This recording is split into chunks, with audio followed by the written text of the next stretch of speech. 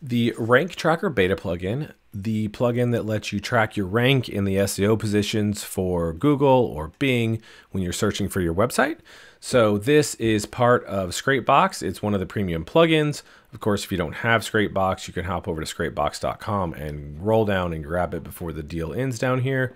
And then you want to head over to scrapeboxtips.com and pop in your name and email so I can give you free tips and tutorials and guides and teach you how to make money with Scrapebox or checklists. Just lots of great resources. That's all free for Scrapebox. And so if you already have the plugin, it is also part of the rank tracker plugin here. So when you get the rank tracker plugin, you get the beta with it. Now, the old rank tracker plugin will probably be replaced with the beta because Google made a new update in January 2025 and require JavaScript, and so the old rank tracker doesn't work. So I'm sure they're going to replace it with the beta at some point. But anyways, right now it's called the beta. By the time you see this video, it may or may not be, but it's you get both of them, right? So if you have the rank tracker plugin, anything that says rank tracker, whether it's the original or the beta, whatever, and same moving forward, you get it, right? So you can go to show available plugins, get the rank tracker and get the beta and you can install them. If you don't have them, you can invest in them. They are an additional investment and that link will pop up right down here. And same, once you have it, they activate it in 12 hours or less. Go back up here to the plugins menu and then click on it and install it down here. I'm gonna focus on the beta today because it is the new one that works with the update.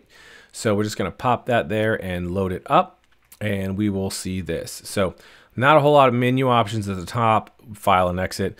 And scheduler, the scheduler we'll talk about in a minute, but it allows you basically to schedule actions. So let's say you have your website or your client's websites, right? And you want to check where the rank is every single day and kind of get a rolling report over time to see, you know, where it is trending at. You can do that, right?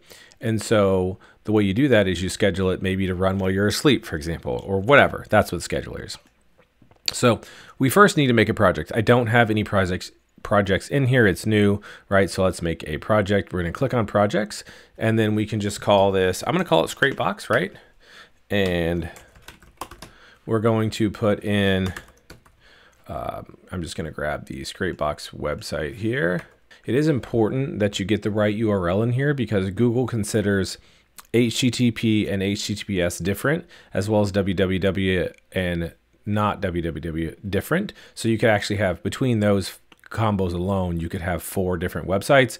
They also consider the slash on the end versus not as a unique one. So if you start combining those things, you can have all kinds of different websites. Proper servers should redirect everything to one. Doesn't always work that way, but it should. But it's important to know that Google may show it with or without the S, with or without the slash, or with or without the www. And so if you put it in one way and Google shows it a different way, the rank tracking may not work the way that you expect it to.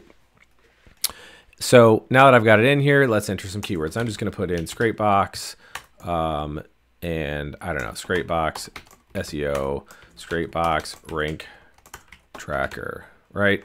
So we'll just put it in that whatever you would put obviously put your keywords in here. You can load keywords from a file save them clear them you can when we're done here we have options to come back and modify this project or import old projects which is really useful from the previous rank tracker version so if you had them in the old rank tracker you can import them you can add this as a new project which we're about to do we can update a project as well and then we can, of course, create a new project, which will erase all this. And I also have the option of using proxies so I can load and clear proxies. I'm not going to use proxies. You definitely can.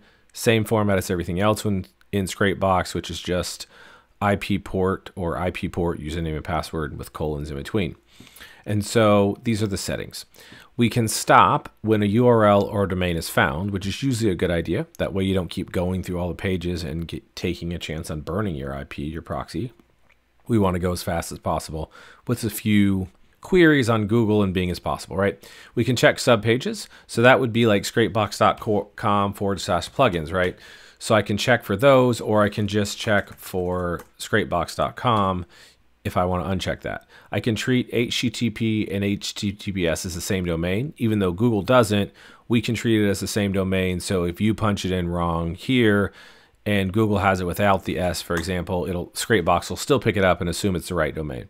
And a same thing with the www. So basically, even though Google treats it separately, Scrapebox can compensate for that and try to help you out, assuming you leave those on, and they're on by default. Now, we can delay after each request. I'm just going to leave it on the default. Maximum URLs to check up to 500. I'm going to leave it at 25. Usually, Google is going to soft cap at less than 500 anyways.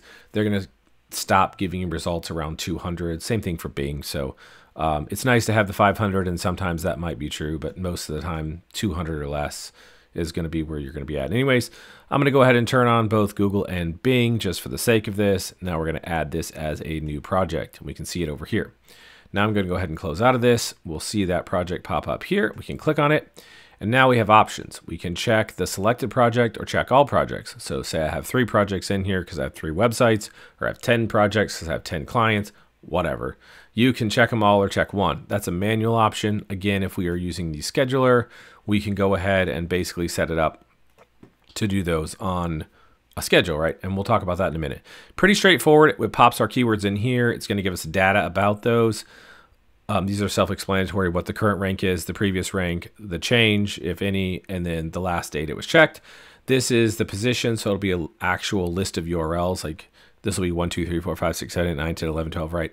And then the actual URLs. This is just like when you go to Google and do the search, that's what comes up. And then down here, we can see the tendency here. So we can do 10, 100, 500, and that changes the graph. And then we can do different, uh, a bar graph or like a, line graph, right? I think it's called a line graph. Anyways, you know what I mean, right? And so we can also show a browser. It does use the browser. I would not ch check off this box to show the browser unless you need to. It probably even will give us some pop-up that says don't, because then it's just keep popping stuff up in your face. But all right, so let's check the selected project, or there's only one, so just check it, right? It's gonna run in the background, and you can see down here processing, it's even blinking to let you know that it is. It has processed keyword one of three. Now it's probably doing the three second delay. And so we can see that it's currently processing this keyword and we have the little badge to show us that that keyword is done. So it's just processing through here. Should just take a few seconds. And obviously these keywords are very relevant to uh, my actual website that I put in there, which is just Scrapebox. And so we can see that it's a current rank and then it's checking Bing right now, most likely. Uh, yeah, Bing is processing. So it does Google and then it does Bing. And so let's let that finish. It'll be done here. I've talked almost the whole way through it. And then we'll just have a look. All right, so I did pause the video for a second just to let it finish. And we can see the ranks by clicking here, right? So the rank in Google and the rank in Bing is there. So if I click a keyword, you can see my list of URLs and then the positions. And then when you click a given keyword, we can see here um, where it is. So if it'll show you this is the rank out of 500. So let's say it was rank number 300. This is the rank out of 10, right? And we can see this is the line graph, this is the bar graph. Obviously, it's the first time I've run it, so we can't see if there was like 10 days of data here, we would see the 10 days here versus a line graph where it dances around like like the tiny picture here and show you the rank. I'll give you a disclaimer about rank in a minute. Uh, it's really, really important, but I'll throw it at the end. So anyways, that's how it works. That's the concept. You can see, and I'll do some troubleshooting at the end too, right? You can see here the green, it highlights green, anything that matches the domain name, right? So all these were, and then there's some in between, right? And then various things here. And so that's pretty much it. I mean, that's how it works. You can export the projects, and that sort of stuff. So let's talk about the scheduler for a minute and we have troubleshooting to talk about and then a really important disclaimer. So scheduler, really cool. You can enter a name for the task. I'm going to call it Scrapebox, right? Or Scrapebox Daily because I'm going to run it daily. I'm going to start it today and it's just this is when I'm recording the video. I'm going to do it every day or I can do it for every, like check it like every five days, for example, once every five days. I'm going to pick the project and then I'm going to export the result as whatever file name I want to export it at, right? You got to click here and then find something and then I'm just going to stick it in new folder 10,000 here, right? Uh, Scrapebox daily, right? It's going to pop it out as an Excel file every day. And then I can do this if I want to do all projects instead of one, I can create the task, right? Success, it's been scheduled. The task run must ensure for, hang on, this is important. Please note, for scheduled tasks to run, you must ensure Scrapebox is running in the background. So you can't close down Scrapebox. You got to leave it running. You can minimize it, but you can't close it down, right? And I think this uses Windows Task Scheduler as well, at least on Windows. So I don't even know if Rank Tracker is available on Mac, but It, it might be. So the task scheduler should be on as well. So let's talk about some troubleshooting. If you're using the scheduling thing and it's not working, then obviously make sure Scrapebox is running in the background and make sure you haven't killed the Windows task scheduler process, which is just a universal process that's part of Windows. Another troubleshooting thing is if you're not getting any rank in here, like if this isn't updating, if I click on a keyword after it's run and this box is empty with no URLs, that means that nothing loaded. So either there was some issue like your proxy was dead or your proxy was blocked or your IP was blocked in general. And so then you'd want to edit your projects and go into Scrapebox, for example, and change it from like a delay of three, maybe delay of six or delay of 10, for example. Slow it down so your proxies don't get blocked, right? And so that's a really important troubleshooting step to understand.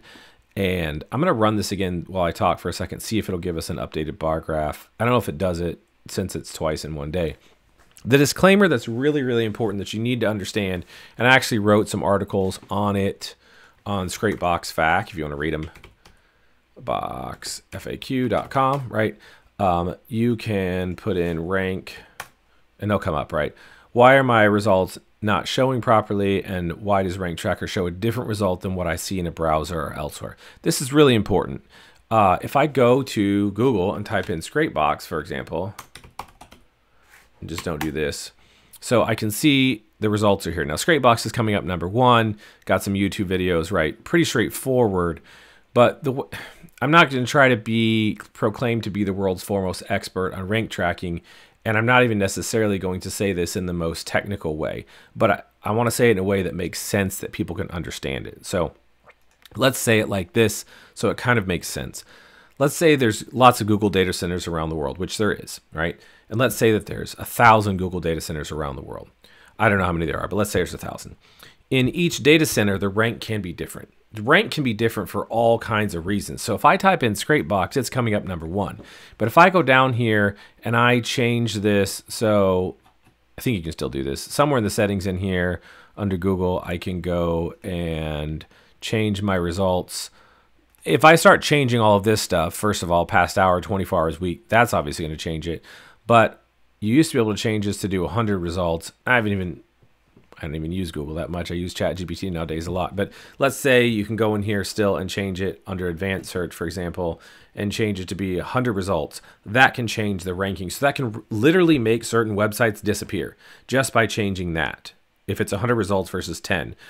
If it is google.com versus google.fr for France, for example, then the rank can vary. And so you can literally have different data centers where the rank is one in one data center and it's three in a different one and it doesn't exist at all in another one, especially if you have weaker websites that don't have a lot of links. So you can literally pull up your browser and it can vary by browser. So this is, for example, Chrome. If I open up Firefox and bring it in here and search it, I can literally get a different result. Now, Scrapebox is going to show up number one because it's a very old site with lots of strong links. But if you have a new website with weak links, you can literally be number three in Firefox on your computer and number one on Google in Chrome on your computer. Like literally, I've seen it happen. So Google shows different things in different ranks for all kinds of different reasons. The quantity of results per a page, the browser, which is the user agent, the IP address, so you can use a proxy and you're going to get results that are going to vary. Plus, Google's going to pull up the results based off the geographic location of the proxy. So if you're trying to check results for a website that you want to rank in Canada and use proxies from France, you're going to get results from France and the ranking is going to be skewed so ideally, you'd want to use proxy IP addresses from the location that you want to check the rank. The point here is simply this. There's 38,000 reasons why Rank Tracker can give you a different result than what you see in your browser. Because the results can literally vary with all kinds of different data centers and browsers and different reasons. So just because it shows up as number three in your browser, when Bob, who's a state away or 10 miles away searches it, it might show up number one. It might not show up at all, or it might show up number 10. So it's important to understand not just what you see, but the biggest red flag is if you're seeing one thing in a browser and rank tracker showing you something else, that means your potential client uh, customer or your client's customers may be seeing different results than what you see in your browser. So it's really valuable to get a different take on it to make sure that, okay, this is a kind of a wink, weak link profile. I need to make some stronger links so that it ranks better across all data centers or make some more focus in the particular area or the particular engine like .com, .fr, .br, the, the list goes on, right? All the TLDs around the world so that it ranks where I want it to rank at and put some more focus there. So you can go over here and read the article. There's more. There's more reasons why it might not rank. But the big picture here that's really important is technically there's not a wrong answer because Google can show the same thing ranked different positions or not at all. I've literally seen results disappear when you change a user agent or you change something like the results, quantitative results. They just poof, they're gone. They were number three, and now they're not even in the list of the top 100. That's how Google works. So, like it, hate it, whatever you want. That's how Google works. And the rank tracker is literally using a browser and going to Google and showing you the results that it sees. But that may or may not match what you see on your computer because Google doesn't display the same thing for everyone. So that's the rank tracker. That's how it works. You can use the scheduler. And it does work with both Google and Bing. Again, this is the Rank Tracker Beta that works with the new update, and that is the Rank Tracker. Thanks for watching this Scrapebox video. For more Scrapebox videos, click the subscribe button down below and then click the bell. And then check out these other great Scrapebox videos.